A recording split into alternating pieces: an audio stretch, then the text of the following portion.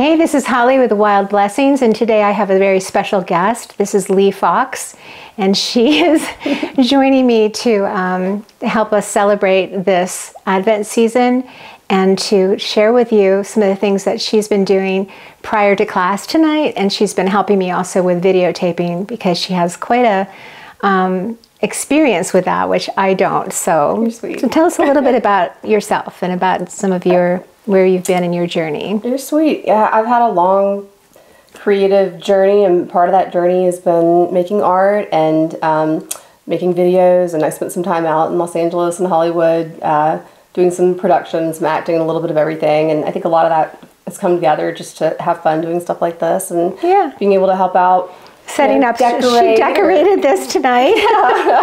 And then it's been really fun um, getting some of your video clips of the things that you've been doing mm-hmm. over the Christmas season and mm-hmm. editing those together into just little sentimental pieces to yeah. um, try to convey your message. You got to um, teach me how to do that. I want to. Yeah, Jordan's go. These are some of the best things you put on social media. I go. I didn't. Do-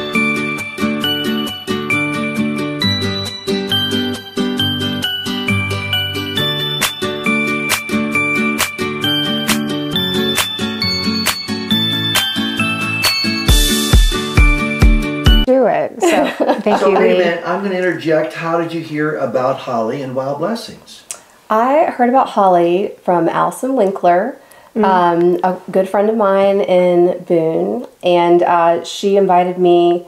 She said it was a, a nature walkabout to learn about wild foraging and wild plants. And I said, yes, that sounds a hundred thousand percent like something I want to learn. Yeah. And so I came to your class over the summer, mm-hmm. I believe. It was in, I think, July. It was hot was during the summer, and um, just the energy was amazing, and uh, it was just so educational, but also so creative and free flowing, and really opened my eyes to the bounty of beauty and edible things and medicinal things that are mm-hmm. all around us. Did it make you feel loved? Yes. Because God has provided for us and we don't even realize the treasures and the riches that are at our feet. Yeah. So tonight we're going to be sharing some of the um, treasures that we're uh, have in front of us and um, First, we're starting off with a coffee, and it's just regular coffee, but we're going to put in it some hickory bark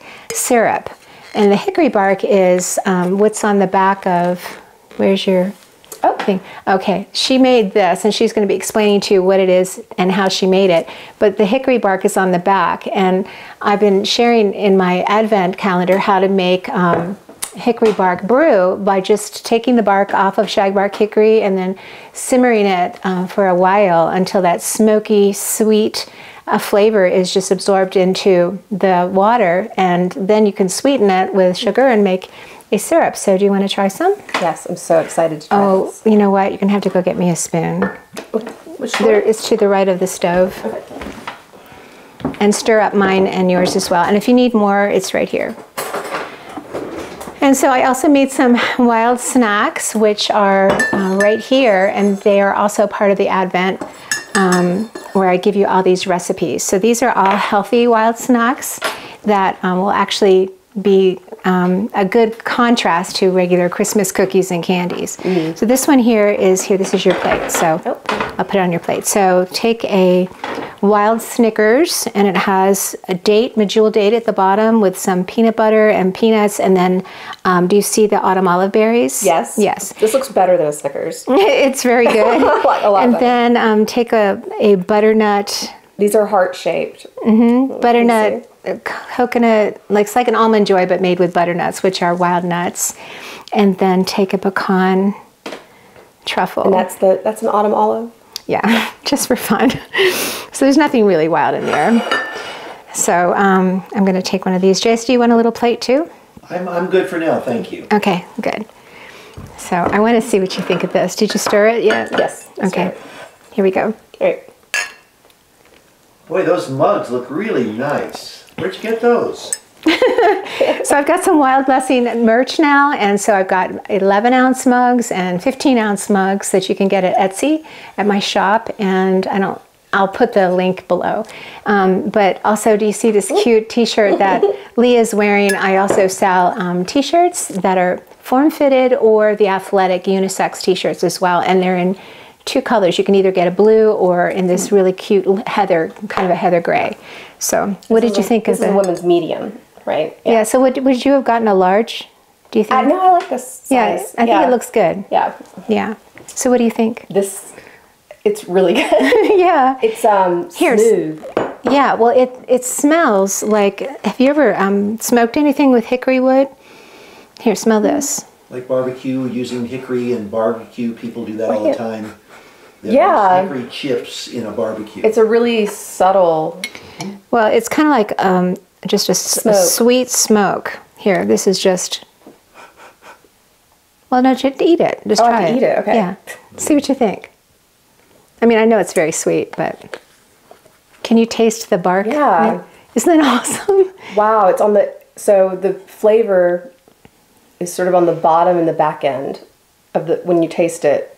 Like I don't I don't taste it right at the front. I taste it Okay. at the back. Yeah. Mm-hmm. it's really good and complex. A lot of people like to barbecue with um, Yeah. with hickory wood. Yeah. So I can, anyway, I can taste that now. yeah, that's very yummy. Okay, so I wanted to share with you that um, my my cups have come in, and I have purchased a bunch of them for my Patreon members. And so, please come to my house between two and four any day this next week. Just let me know in advance when you're coming, and you can pick up your mug.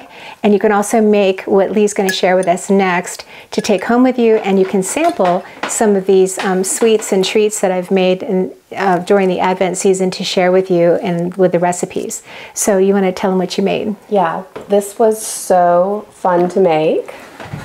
This is like a magical woodland bouquet. You just let me pick out anything that was inspiring me. And at first, I did not think I was going to be able to do this because the ones that she's made, which you can see on the refrigerator, um, are complete works of art. But, you know, you have a very easy energy to be around. so I just kind of started mashing things together and.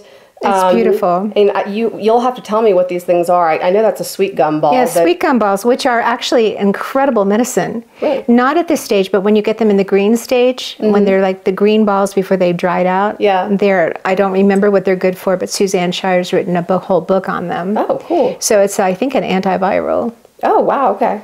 Okay, this is um, yarrow, Mm-hmm. and you you know what those little red berries are. Barberries. Okay. it's an antibiotic. Okay. and they're out now. Oh, wow. They're all over the place. Barberries. Okay. And these are juniper berries, those. which are really good for um, arthritis. My mom used to eat five of those a day to help with arthritis That's pain. what gin's made out of. Juniper berries, isn't it? Yes. Yeah. okay. And that's lavender, Piece of quartz, piece of quartz. moss. Mm-hmm. Right. And these are beautiful roses that I had Yeah. dried and rose hips. yep. And then what is the floof? That is pampas grass. I love that. I do too. I love that. So Floof. And it's all on hickory bark. yes, So what did you put on the very back? I put a clothespin and then several magnets. So we can put this on the refrigerator Mm-hmm. as a magnet, or you can put it on a gift as Yes. an accent. Absolutely. They're really So- beautiful everywhere. Here's an example. So this is what I did for um, for my gifts that I made this year. Is I would just make one of my posies and put it on the gift, and then I would. Um, the person would not only get the gift, but they would get this that they could use on the refrigerator, or you can stick them in my tree. And um, Leigh's probably going to post pictures of my tree Yeah. because um, it's really beautiful and it's all made with wild blessings. So anyway, this is actually a gift for you, Leigh. So make sure you, take that home. That's so sweet. Um, let's see what else do I have on here. This is um, Za'atar, which is a phenomenal seasoning made with um, sumac, and these are actually picked today. So here's an example of berries being available even in the dead of winter, and um, they're beautiful against the snow. But you can see the energy and the brightness of them. Yeah. So in order to get the powdered um, flavoring and seasoning, you literally have to put them in a coffee grinder, and then you just push them through a sieve, so you're not getting these hard berries. But you can tell just by eating one of these berries. Oh my gosh, how lemony that is and how tart that is. So this is very high in vitamin C, really which good. is an important thing to know because we must have vitamin C, and you can prov- God provides it even in weeds, It's not just oranges. Yeah. so, but do you see that? Tastes like a that sweet little tart. yeah it does but that little seed you don't want in your seasoning I swallowed it. Is that okay? that's fine okay so then um, i wanted to share with you the pine um, pine cone brownies they're kind of trending right now on tiktok and on instagram and stuff so i thought i would try them and um, i think they're beautiful and they're very simple to make Can they just yeah you can you can just yeah What are these almonds? those are almond slices or slivers, you know, Slivers. and they look like kind of like the cones. And you put pine. powdered sugar on them to make it look like snow. And I covered them with dark chocolate. Yeah. They're, they're so beautiful. Yeah.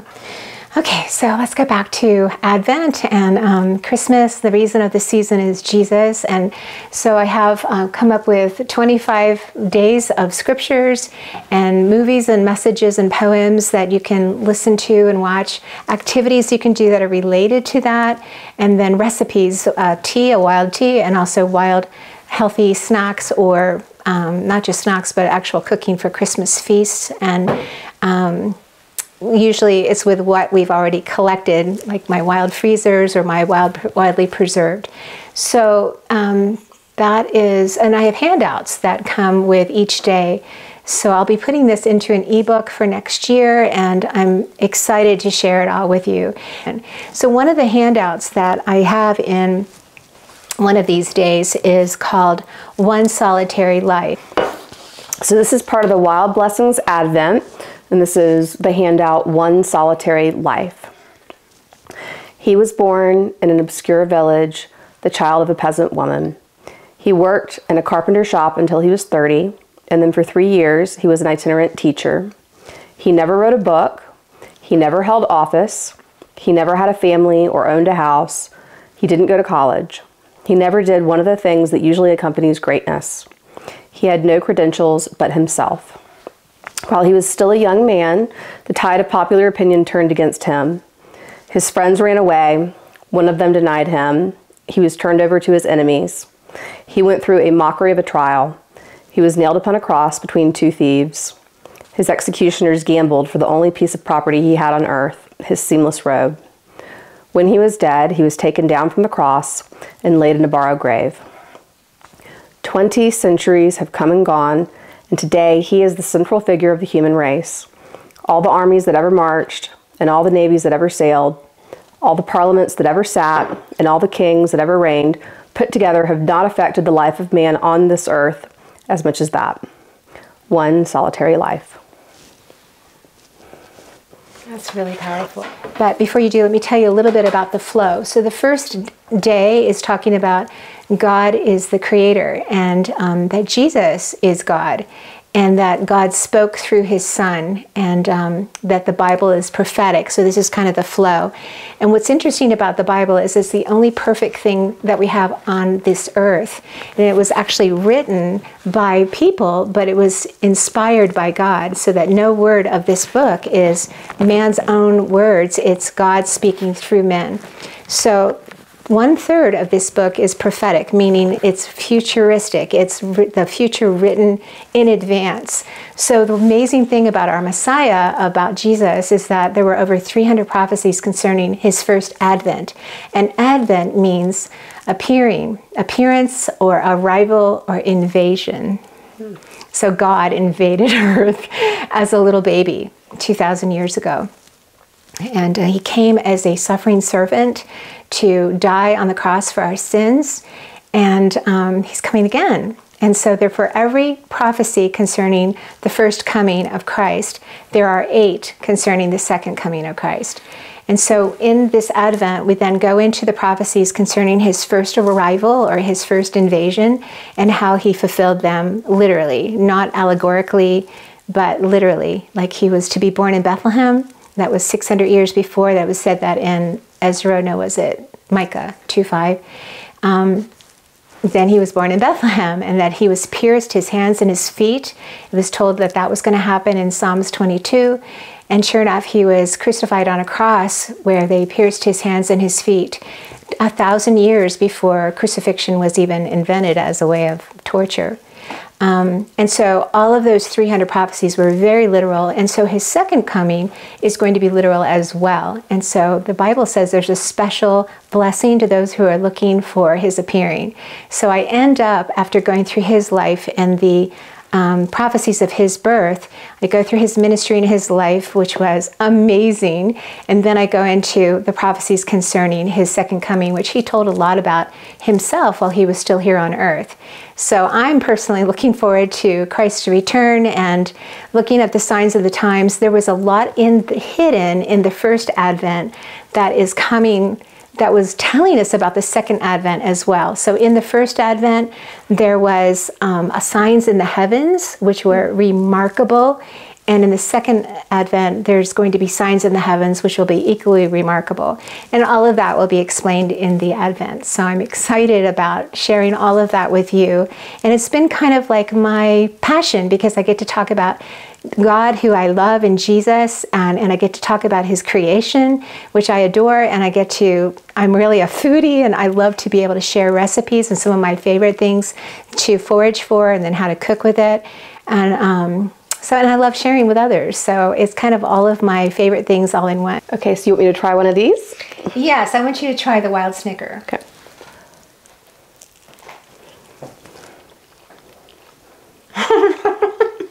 It's so much. Why would you even buy a Snicker bar when you can do this? It's so much better. It's like a heavenly peanut butter and jelly mm-hmm. chocolate. Mm-hmm. Oh, it's so good. Mm-hmm. You can take the rest of them home with you. Thank you. I will. They're So great. Patreon members, come by and you'll get to eat these and make one of the um, ornaments and get a mug. I want to just thank you guys so much for supporting me. And if you want to join my Patreon team, you get to come to in person classes at a quite reduced rate. And um, I get to bless you throughout the year. So thank you for blessing me. I so appreciate each of you. January is going to be an amazing month. We're going to be focusing on wildly well, wild and well, and how to make um, healing medicines with what's out there in nature now and how that can impact you. Um, in fact, you tried. We with- made one. You tried. Oh, you did. Yep. She did. Well, that was with essential oils. But tell about the pine. So I was sick for a month and nothing was working. And I texted you and I said, help. and you told me to boil either pine needles or um, pine essential oil, which I had.